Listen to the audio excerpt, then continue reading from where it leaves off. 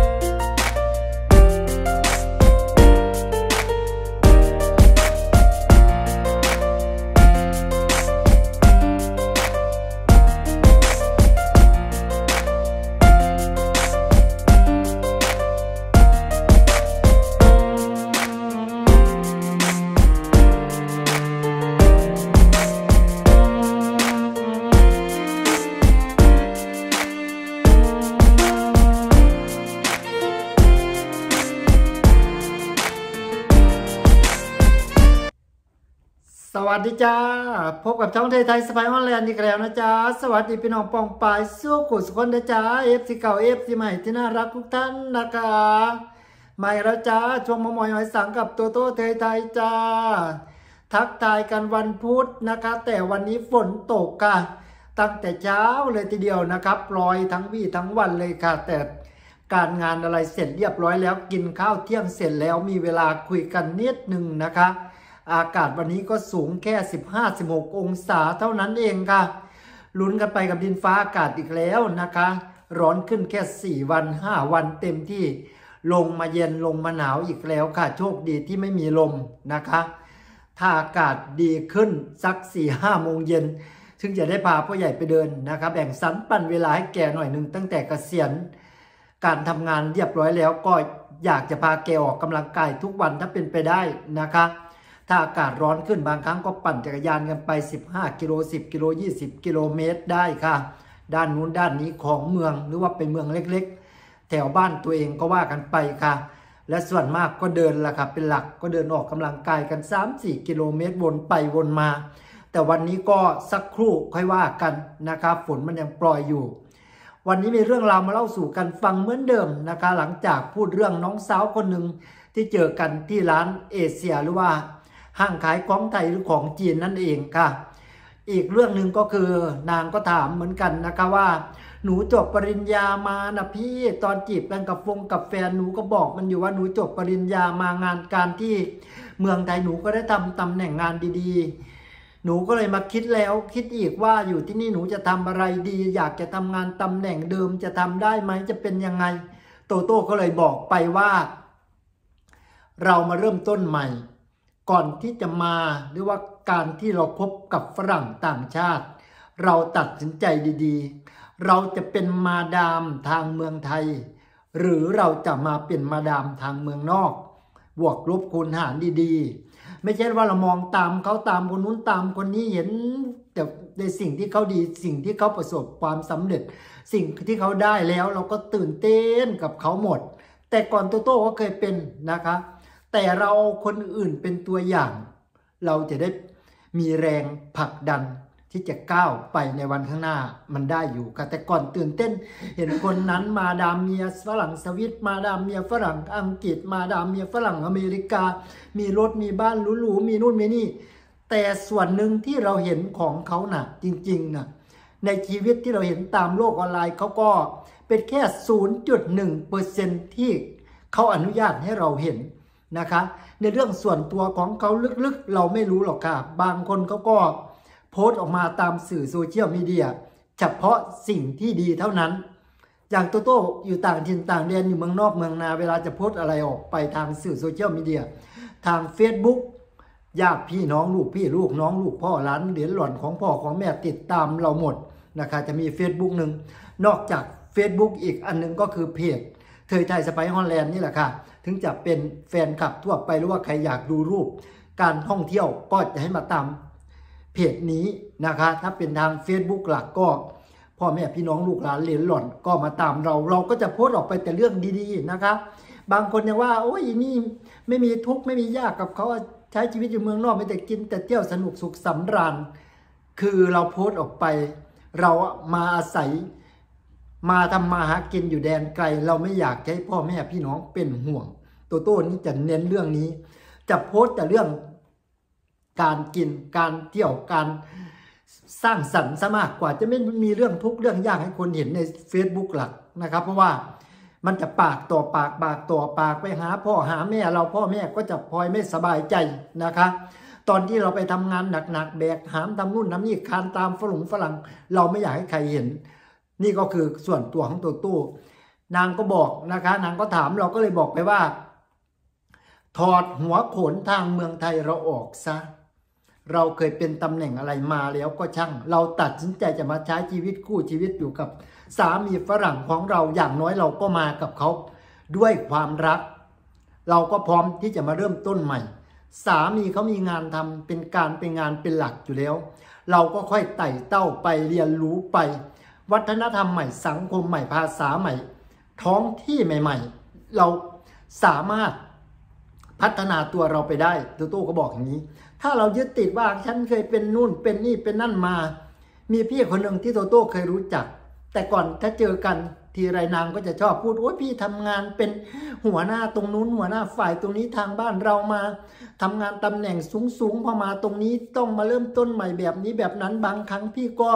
หงุดหงิด อยากจะทำงานตำแหน่งดีๆ เรามีความรู้เราจบปริญญามาก็จริง ความรู้มันไม่ได้แบกได้หาม มันก็มาสามารถต่อยอดได้ เหมือนตัวตัวเองที่จะจบแค่ม .6 มา แต่ถ้าพูดถึง ตำแหน่งการงานที่ผ่านมาทางเมืองทงเมืองไทย เรามีประสบการณ์เราอยู่ตรงนั้น หลายปีเหมือนทำงานโรงแรมก็จนได้ขึ้นมาเป็นตำแหน่ง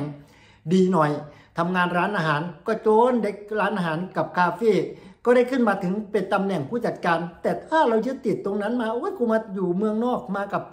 มาอยู่กับฝรั่งทำไมกูไม่ได้ตำแหน่งทำงานการงานเหมือนเดิมทำไมกูไม่ได้เป็นผู้จัดการที่นี่ มันวัฒนธรรมใหม่ภาษาใหม่เขาก็เอาความรู้ทางบ้านเขาเป็นหลัก ความรู้ทางบ้านเรา มันก็มีประโยชน์กับตัวเรา มันก็ประดับในสมองเรา แต่เราก็ต้องมาเรียนรู้ภาษาอะไรของเขาเพิ่ม ตัวตัวเองเรียนไอ้พื้นฐานที่เขาบังคับให้สอบ หรือว่าเขาเรียกทางฮอลแลนด์เรียกอินเบอร์เกริงนี่ก็คือ เราก็มาเรียนเขาให้เวลา 3 ปีนะคะ ทั้งเรียนทั้งสอบ 6 อย่างให้เสร็จที่นี่ คือตัวพื้นฐานกฎหมายของเขาที่เราจะอยู่กับสามีไป ครบ ช่วงนั้นก็ครบ 5 ปีก็ยื่นขอสัญชาติไป อะไรมันก็จะเป็นสเต็ปไปแบบนี้ตัวโต้ก็บอกว่า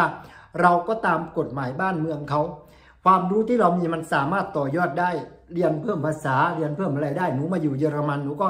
เรียนเพิ่มไปถ้าสอบเสร็จพื้นฐานอะไรของเขาไปอยากทำงานตำแหน่งอะไรก็ค่อยว่ากัน เราก็ปรึกษาเพื่อนฝูงหรือปรึกษาครูบาอาจารย์ที่เราเคยเรียนนั่นแหละค่ะ ว่าหนูฉันไอ มีใบปริญญามาจากทางเมืองไทยนะ ฉันอยากจะทำงานประมาณนี้ประมาณนี้ แล้วก็ปรึกษากับแฟนตัวเอง เดี๋ยวแฟนตัวเองก็ติดต่อเสิร์ชดูในเว็บนู้นเว็บนี้ แล้วก็ติดต่อคนญาติพี่น้องเขาแบบไหน เราก็ค่อยไปตามสเต็ป แต่เราถอดหัวโขนทางเมืองไทยก่อน เราถึงจะก้าวข้าม ในจุดเราถึงจะก้าวไปในสังคมใหม่ ๆ ได้นะคะอย่าไปยึดติดค่ะ ที่ผ่านมาก็คือผ่านมาอยู่เมืองไทยก็คือเมืองไทยเงินเดือนได้รับเท่านั้นเท่านี้ มาตรงนี้ งานการอะไรงานก็คือเงิน เงินคืองานงานคือเงินงานอะไร เราก็เริ่มต้นใหม่โตโต้มาโตโต้เขาไม่ได้อายนะครับทำงานโรงงานทำงานโรงแรมทำความสะอาดนะครับก็บอกทุกคนว่าทำความสะอาดนะไม่ได้บอกทุกคนว่าเป็นผู้จัดการนะครับมีบางคนคนรู้จักอีกนั่นแหละค่ะ ไปทำงานโรงงานก็บอกว่าไปเป็นผู้ช่วยผู้จัดการป้าแหนกไปทำงานไหนทำความสะอาดก็บอกว่าไปเป็นหัวหน้าแม่บ้าน คนที่เคยยึดติดเราก็จะอ้างตัวเองอ้างตัวเองไปบอกว่าไปทำงานที่โรงเรียนก็บอกว่าไปเป็นผู้ช่วยครู จริงๆ แล้วก็ไปทำความสะอาดนั่นแหละค่ะ ความรู้คุณมีมาจากไหนคุณก็ต้องมาเริ่มต้นใหม่ที่นี่ แต่ถ้าเราอยากไปเป็นผู้ช่วย หรือว่าดูแลบ้านคนแก่ผู้ช่วยพยาบาล เราก็มาต่อเอาที่นี่เขาก็จะบอกอยู่ค่ะ ก่อนที่ตัวตัวจะจบหลักสูตรหรือว่าสอบเสร็จตัว พื้นฐาน 6 อย่างนี้ก็ ครูเขาก็บอกอยู่นะเธอ ถ้าเธออยากเรียนเป็นซอกหรือว่าซอกก็คือคนดูแลบ้านพักคนชรา ดูแลคนแก่ดูแลคนป่วย เธอก็ไปเรียนอีก 2 ปีนะ เพิ่มเอาภาษาของเนเธอร์แลนด์ขึ้นมาอีกสัก ให้มัน high class ขึ้นให้มันสูงขึ้นกว่าเดิมเราก็สามารถทำงานตำแหน่งสูงขึ้นเงินเดือนก็จะตามมา แต่เราต้องกล้าเริ่มนะคะ ตอน 3-4 ปีก่อนที่โตโต้มาใหม่ ๆ นะคะ โตโก้โต้ก็จะเห็นคนไทยนะครับ ผู้หญิงไทยหลายคนที่รู้จักกันปั่นจักรยานบ้าง เช้ามาหกโมงเจ็ดโมงเช้าก็ปั่นจักรยานไปตรงนู้นทีตรงนี้ทีทำความสะอาดตรงนั้นสามชั่วโมงตรงนี้สองชั่วโมงเขาก็จะวิ่งทำกันนะคะคือว่าเราต้องกล้าเริ่มนะคะ เราอยู่มาอยู่เมืองใหม่สังคมใหม่วัฒนธรรมใหม่ เราอย่าไปยึดติดกับที่เดิมที่ที่เราผ่านมา เราจะทำงานตำแหน่งไหนทางเมืองไทยมาก็ช่างเราก็ขอ เจออะไรกูก็จะลุยแหละนะกูก็จะขะขอเริ่มต้นใหม่ที่นี่ ที่แรก ๆก็คือสู้กับใจตัวเองให้ได้นะครับบอกกับใจตัวเองว่าพร้อมที่จะสู้ พร้อมที่จะเปิดใจยอมรับกับสังคมใหม่หรือยัง นี่แหละค่ะที่บอกว่าการคบกับแฟนการอยากได้แฟนฝรั่งสามหยิบฝรั่งก็รู้อยู่แต่ใจเย็นๆค่อยเรียนรู้กันไปจริง ๆ ก่อนว่า แฟนของเราเนี่ยถ้ารำพังที่จะเดินเรื่องเอาเรามาบางคนการงานมันก็โอเคอยู่ก็ พื้นฐานการเงินอะไรเขาดีอยู่หน่อย เขาก็สามารถเดินเรื่องเอาเรามาได้อยู่นะคะไม่ใช่ว่าจะไม่ได้ บางคนการเงินการงานเขาไม่ดีเขาก็ให้พ่อแม่เขาเดินเรื่องเอาเรามาก่อนนั่นมันก็ได้อยู่ค่ะ แต่การที่เรามาเริ่มนี่แหละค่ะ เราต้องให้โอกาสเราจริง ๆ แล้วก็ดูแฟนเราด้วย เราก็เรียนรู้กับเขาไปด้วย เพราะว่านั่งเป็นมาดามทางเมืองไทย ตัวตัวเองก็เคยเป็นนะคะ การเป็นมาดามที่ทางเมืองไทยถึงสิ้นเดือนมาแฟนส่ง แฟนส่งให้อะไรให้นะคะตอนอยู่กับพ่อใหญ่เก่านะแกจะไปเมืองไทยครึ่งปี ช่วงครึ่งปีที่ตัวโตอยู่ไทยแกก็จะส่งไปรายเดือนไปเดือนละหมื่นหมื่นห้าแกก็ส่งให้ตลอดอยู่ เพราะว่ามันขึ้นอยู่กับเราตกลงกัน แต่ทีนี้เราก็อยากจะมีโอกาสนะคะอย่างแฟนคนนี้นะคะคนปัจจุบันพ่อใหญ่ก็เสียไปแล้วนะคะ เลิกลากันตอนนั้น จนมาดูแลกันจนเสียไป ถ้าคนเคยติดตามตัวโตมาก็จะรู้นะคะ ทีนี้พอได้แฟนคนนี้แกก็อยากให้โอกาสเราอยากให้ได้มาอยู่ด้วยกัน แกก็วางแผนวางเปลี่ยนทุกอย่างเราก็เลยกล้าตัดสินใจมานะคะถ้าเขาไม่วางแผนชีวิตอะไรให้เราเลยไม่อยากนู่นนี่นั่นเราก็ไม่กล้านะคะแต่แฟนเราเขาให้โอกาสเรา โชคดีว่าโตโตมาสามปีแรกนะแทบไม่ได้ทำอะไรนอกจากการเรียนแล้วเน้นการสอบนะคะจะได้ภาษาได้ ใบประกาศตัวนี้เพราะว่าใบประกาศเกี่ยวกับภาษาบ้านเขาพื้นฐานตัวแรกนี่ สอบ 5 อย่าง 6 อย่างนี่ มันเป็นใบเบิกทางใบแรกนะคะที่เราจะไปสู่ถึงการขอบัตรประชาชนขอสัญชาติ เอ่ยอะไรเอ่ยมันหลากหลายอย่างนะคะเราก็ตามตัวบทกฎหมายเขาอย่างน้อยเราก็ให้โอกาสตัวเองแล้วก็สู้อย่างเดียวเราตัดสินใจมาแล้ว ลองสู้สักตั้ง แต่โชคดีว่าแฟนเขาเราก็ไม่ได้อารมณ์เสียใส่เราเราไปเรียนเราก็ได้การบ้านมาเยอะนะคะแต่ละวันถ้าลองเราไปทั้งเรียนทั้งปวดหัวมาภาษาไม่ใช่ภาษาพ่อภาษาแม่เราเป็นภาษาใหม่มาเข้าสมอง กลับมาบ้านแฟนก็ไม่ช่วยอะไรมีจะมาบ่นให้เรานี่ เราก็อาจจะถอยตั้งนานแล้วแต่โชคดีว่าให้กำลังใจกันเขาก็บอกเราค่อยเป็นค่อยไปเขารู้อยู่ว่าภาษาเป็นภาษาที่ยาก ภาษาใหม่มาเข้าสมองเราเราก็ไม่ใช่เด็กน้อย เราก็อายุหลักสี่ขึ้นมาถึงมานะครับ มันก็จะเป็นประมาณนี้ อย่างน้อยน้องคนนี้ก็อายุสามสิบกว่ายังไม่สี่สิบโตโต้ก็บอกว่าเธออายุยังน้อยความจำเธอยังดีอยู่ ค่อยเรียนรู้ไปอยากทำงานอะไรที่นี่ก็ค่อยปรึกษากันไปมันจบไป step step step ไปอย่าข้ามขั้นตอนของเขาก็พอใบปริญญาทางเมืองเราก็ประดับเรามาไว้นี่แหละ ค่อยมาต่อยอดอยากทำอะไรก็เรียนรู้ของเขาไป ราะว่าปริญญาทางเมืองไทยกับเมืองนอกมันแตกต่างกัน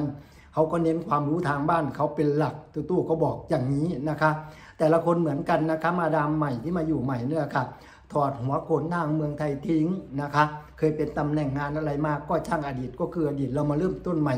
เมืองใหม่สังคมใหม่เราค่อยเรียนรู้ไปเรื่อย ๆ มันก็ไม่เหลือบากกว่าแรงนะคะ ให้โอกาสตัวเองให้โอกาสสามี ให้สามีเขายังไงล่ะคะ ให้โอกาสซึ่งกันและกันนั่นแหละค่ะเปิดใจคุยคือสิ่งสำคัญที่สุดนะคะยังไงก็เป็นกำลังใจให้กันนะคะ ขอบคุณทุกคนค่ะ บ๊ายบายค่ะ